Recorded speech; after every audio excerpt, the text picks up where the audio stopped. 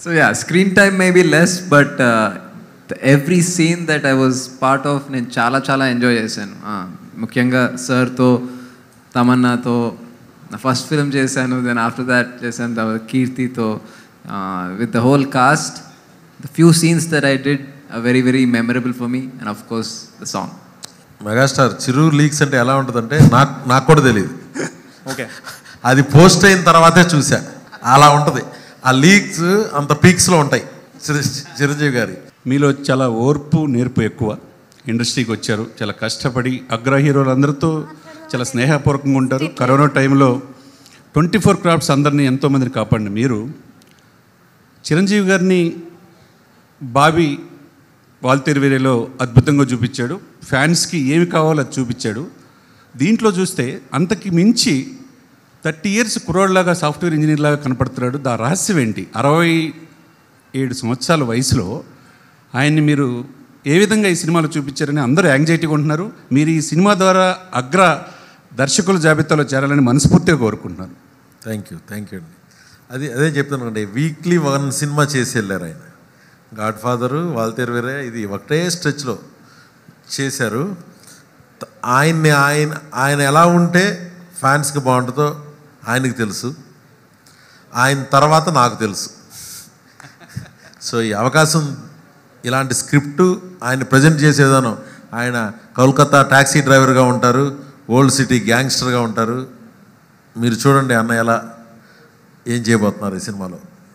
చాలా సంతోషంగా ఉంది సార్. ప్రతి ఫేమ్లో కూడా నిజంగా మాకే ఆయన ఆ వయసులో ఆయన అంత అందంగా ఎలా చూపించాడో మెహర్ రమేష్ గారు? బాబీ కంటే బాగా చూపించారనేది ప్రేక్షకులు అనుకుంటున్నారు. ఆ, ఫీల్ కలుగుతుంది. ఎప్పుడు ఆగస్ట్ లెవెన్త్ వస్తుందా సినిమా చూద్దాం అనే ఉత్సుకతతో అందరూ వెయిట్ చేస్తున్నారు. అండ్ ఈ ఈ దీనిలో నేను ఒకటి చెప్పాలి. శేఖర్ మాస్టర్ నేను డి ఫైనల్స్ ఒకసారి నేను ప్రభాస్ గారు ఏదో జడ్జిలుగా అదే పిలుస్తారు కదా.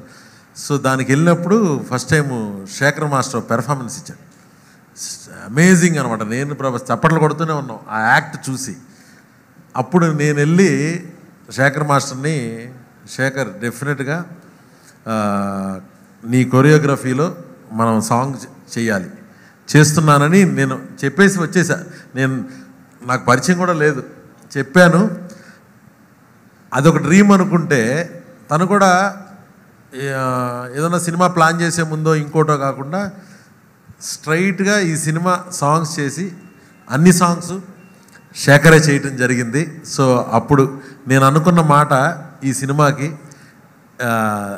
మా ఇద్దరికి మా ఇద్దరిది నాకెంత నాకెంత పిచ్చో నేనెంత మ్యాడ్ ఫ్యాను మెగాస్టార్కి శేఖర్ మాస్టర్ కూడా వెర్స్టైల్. ఈ పా ఈ పాటలు నాలుగు ఈ ఏటికై వైవిధ్యంగా ఉండ ఉండబోతున్నాయి.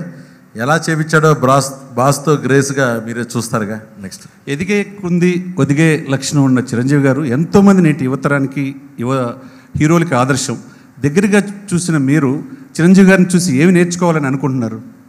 ఆయన దయాగుణం చిరంజీవి గారి దయాగుణం మెగా స్టార్ మెగా హార్ట్ అండి. అన్నయ్యలాగా అన్నయ్య గారిలాగా ఆలోచన కూడా వేరే మనిషికి సాధ్యం కాదు. అంత కరుణ అంత ప్రేమ అంత అభిమానం. కరోనాలో నేను ఒక సోల్జర్ అంతే. కరోనా టైంలో ఆలోచన అయింది ఆచరణ అయింది ఆయన ఇచ్చిన పిలిపే ఆయన ఆయన మేజర్.